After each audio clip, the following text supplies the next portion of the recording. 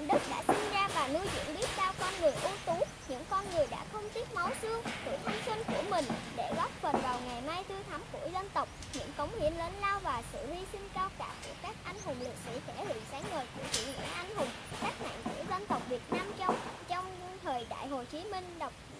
vì độc lập tự do của dân tộc, vì chủ nghĩa xã hội, phát huy truyền thống uống nước nhớ nguồn. Ngày 5 tháng 1 năm 2019, chào mừng kỷ niệm 44 năm ngày giải phóng Phước Long, ngày 6 tháng 1 năm 1975, ngày 6 tháng 1 năm 2019, mảnh đức an đức của những anh hùng chiến sĩ trong chiến thắng Phước Long lừng lẫy.